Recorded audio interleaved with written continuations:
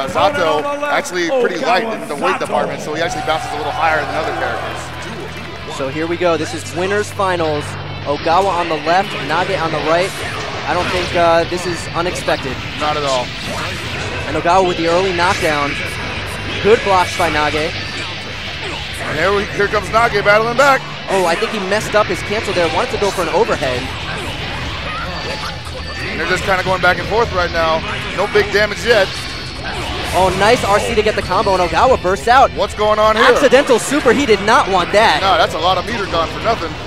And he broke the wall, so he's underneath right now. Ken catch, could not catch him in a sandwich situation. Makes him run out the Eddie meter. Gets him back out of the pool, though. All right, nice burst. Oh, almost threw him into the bomb. That was close. That will be pretty sick. That's the foul special, right? Yeah. Kept him try to jump over the bomb and he threw him into it. Yeah. And another big air throw. Oh, man. Catches. Ooh, tried to spend 50% there to get the combo off the poke. is going to be big damage right here. Going my way does an obscene amount of damage. And another bomb. If the command grab didn't kill him, the bomb certainly would have. Definitely. So Nage looking real strong right now. Ogawa with a couple of execution errors, very uncommon. Oh, man, and the big scalpel pull. Pulls him in.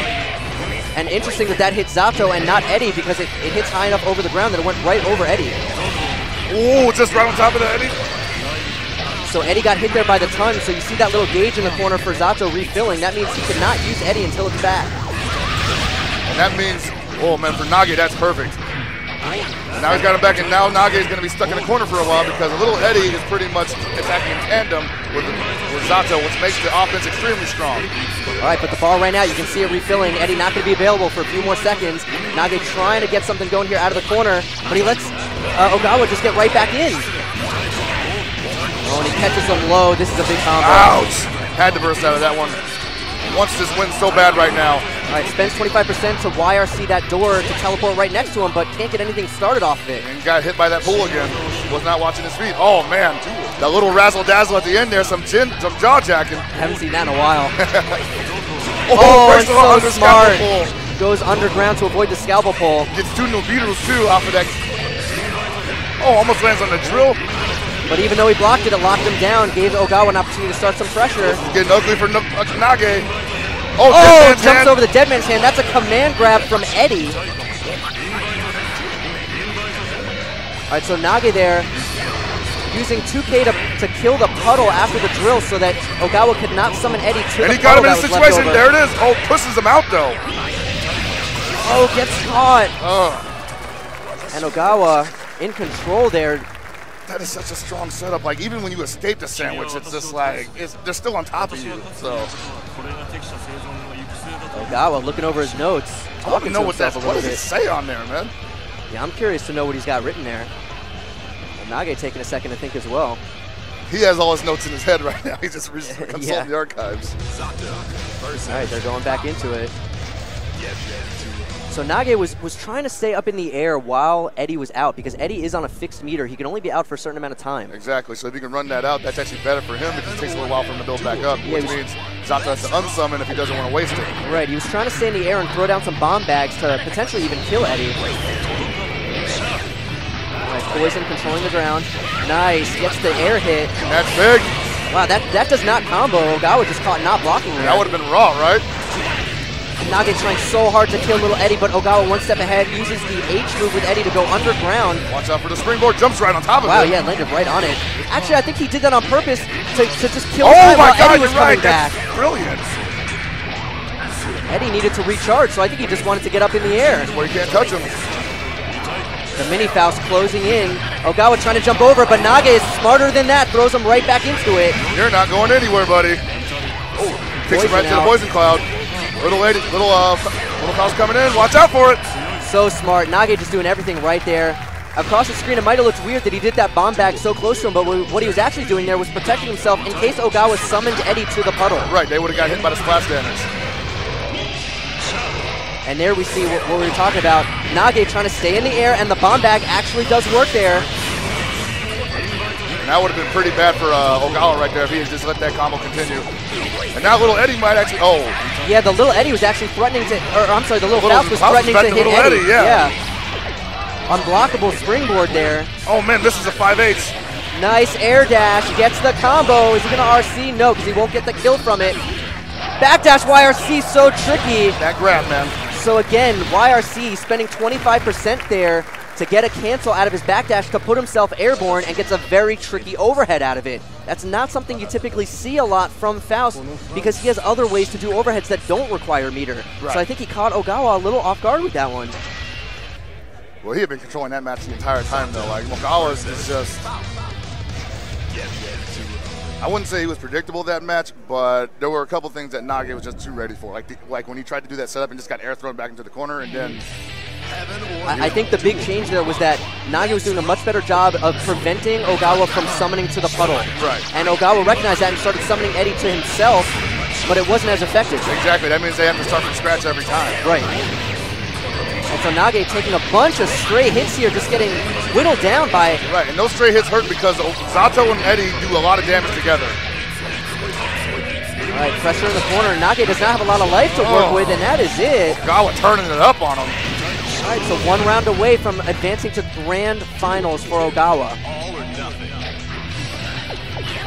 A little bit of flight there. Eddie's double jump is actually a flight. Right, but he cannot block during that, so that is actually a perfect time to throw something far-reaching out at him if you have that. Oh man! And the Meteors lock down Ogawa, gets big counter hit, baits the burst. this is gonna hurt him bad, What Nage needed to turn this around. and that's not coming back for a while. Ogawa needs this mix-up here. He's got to stay on the offensive because he does not have many defensive options right now with his burst Oh, on. jumps out of it. So Nage standing strong with the block, gets poisoned. Oh, he had Smart. So he spends 50% to Roman cancel the far slash. Oh! Uh-oh. Actually counter hit at the wrong thing. Mini Faust. This is a good item against Zato. Ah, the overhead! Caught him from above!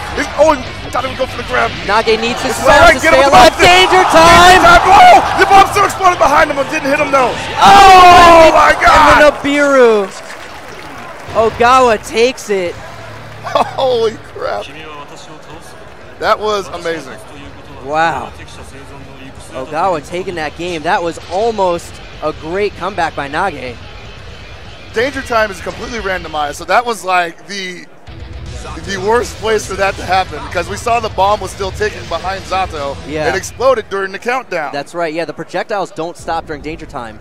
So there's a clash mechanic in this game where two moves of equal strength can clash if they hit each other, and there's a chance on those clashes to go into danger time where every hit is a mortal counter. yeah.